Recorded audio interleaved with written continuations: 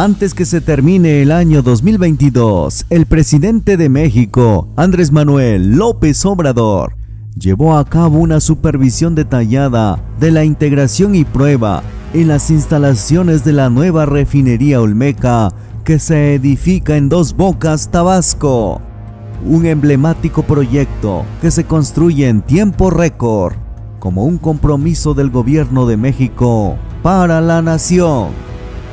Durante su gira de trabajo por Tabasco, el presidente Andrés Manuel López Obrador dio a conocer que la refinería Olmeca en Dos Bocas producirá en el mes de septiembre del año 2023 hasta 340 mil barriles diarios de petróleo crudo. La primera etapa de producción iniciará el primero de julio del 2023 y se podrá generar hasta 170 mil barriles al día. Y a partir del 15 de septiembre, la producción se duplicará.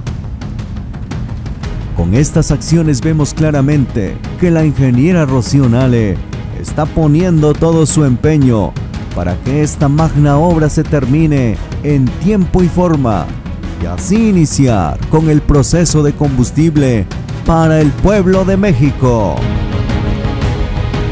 Actualmente, el costo de la refinería Olmeca asciende a 11.800 millones de dólares.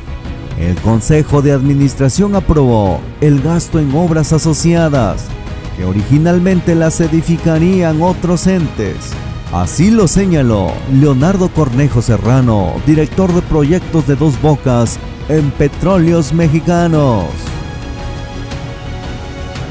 Ante esto, cuenta con miles de documentos impresos que respaldan el gasto y la ejecución de la obra. Y como lo ha mencionado la secretaria de Energía, toda la documentación está disponible ante cualquier consulta y sobre todo ante cualquier auditoría que se solicite. Y mostrarles otra parte tan importante de la refinería.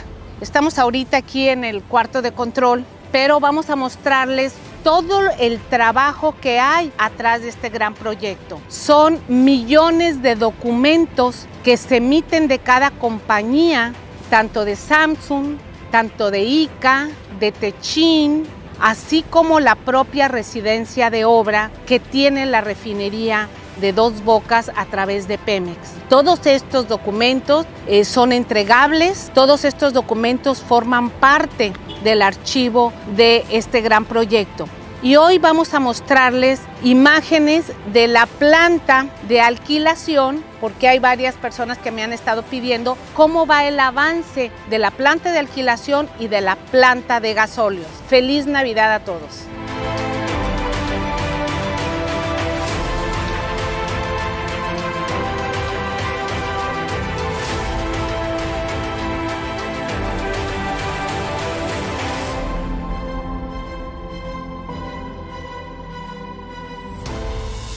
El presidente Andrés Manuel López Obrador está muy entusiasmado al ver que la nueva refinería de México está a punto de encender todos los motores y con esto la nueva refinería de dos bocas empezará a cerrar las bocas de aquellos que decían que era imposible construir la refinería en estos tiempos.